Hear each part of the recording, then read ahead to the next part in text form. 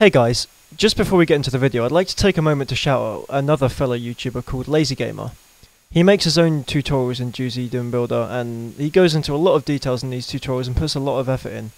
I've watched a few of his videos, and I enjoyed them, and I also found them quite informative, as he's covered a lot of subjects in GZ Doom Builder that I myself don't actually know, so I've actually learned from them, and as I say, I found them quite fun to watch he deserves way more views than he gets, and he's a very nice guy. Um, he puts a lot of effort into his videos. There's a lot of love there. You can definitely tell there's a lot of love. Whilst browsing his description, I've also discovered that he'd gone to not only the effort of linking my channel in the description, but also linking other channels such as ChubzDoomer, who also does um, GZ Doom Builder tutorials and other stuff, a lot of other stuff. And I also might say he's very good for tutorials, so definitely check ChubzDoomer out. But seeing this warmed my heart, as despite my lack of tutorials and my sporadic upload cycle, he still made the effort to shout me out. So as well as returning the favour to not only a nice but dedicated guy, I'd also like to say thanks for doing this and keep going at it, dude. Because I love your content. It's great. With that being said, let's get to the video. Hello, and uh, welcome back to GZ Doom Builder. Um, it's been a while. I'd say a good year. I don't. I don't need to. YouTube says it's been a good year, so it's been a good year since uh, since I last recorded a video and uploaded one. Um, and it feels good to be doing it again. Not gonna lie. Not much has happened in my absence, really. Um, as I've mentioned to um, a few people who have commented on my older videos, the reason for my absence has been my upload is not even a megabyte, a megabit even. So it's very slow to upload videos. It always has been, but it's just kind of it's gotten slower lately. We still use DSL, copper DSL in in the phone lines. So when it's when it's a little bit when it's a little bit blowy down here in the UK, that's, that's it. My internet's done for. Um, no fiber planned soon. Probably in the next five years. I'll probably be gone by then. Um, so yeah. Um, anyway, I'm to do my best to upload when I can. Um, according to my internet.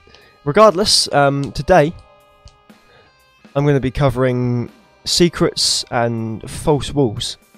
Um, so, if we move on with that now,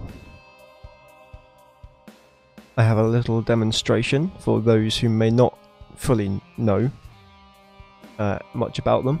So, here, all around, you see we've just got a regular square empty room.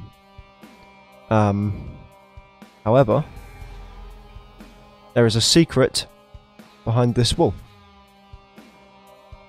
And as you see, you can't actually shoot that texture, whereas just next to it, you can shoot it. So you can discover false walls by simply shooting through them.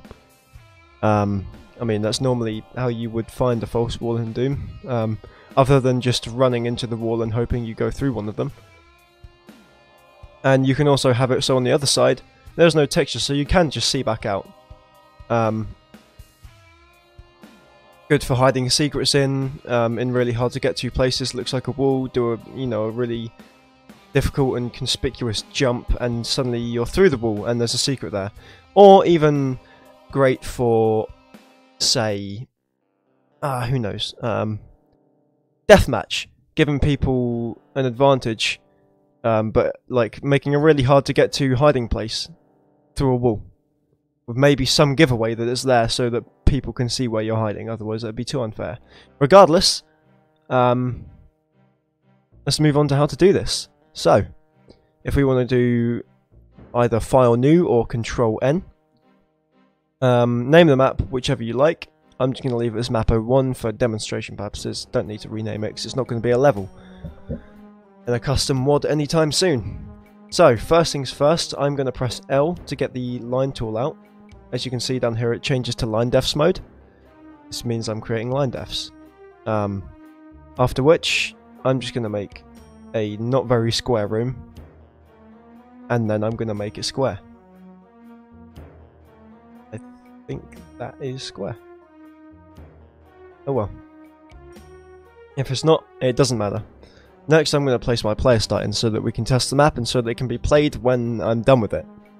Now, these um, for those who don't know how to do secrets and false walls and such, it's actually a very simple, um, easy to do thing in GZ Doom Builder.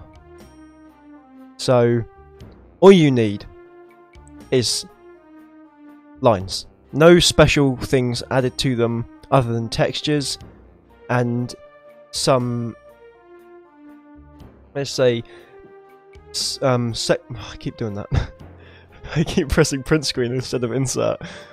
And some sec nah, sector um I can't remember what they're called. Actions. They're called sector actions. I'm terrible, aren't I? right, so for sector actions, if you press S to get the sector tool out, and you right click on the sector you wish to be secret, you go you go to this little um, window box here that opens up a window. That's why I call it a window box to edit effects. So these are sector effects or special sectors or whatever you want to wish to call them. And now you wish to go, you want to go to generalized effects, and under secret where it says no, you just turn that to yes and okay and okay, and boom, secret sector. So now, when you run this, and you walk into your very blatant sector here, it will say a secret is revealed, and there you go. You've made a secret sector, it's that simple.